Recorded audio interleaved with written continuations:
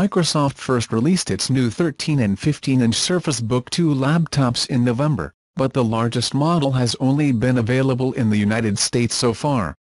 As of today, the 15-inch Surface Book 2 will be available in 17 new countries, including Australia, Austria, Belgium, Canada, Denmark, Finland, France, Germany, Ireland, Luxembourg, the Netherlands, New Zealand, Norway, Poland and Sweden, Switzerland and the United Kingdom.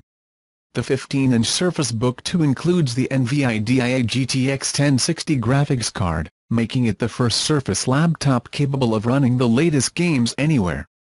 Microsoft has also included support for Xbox Wireless, so any Xbox controller works with the largest Surface Book 2.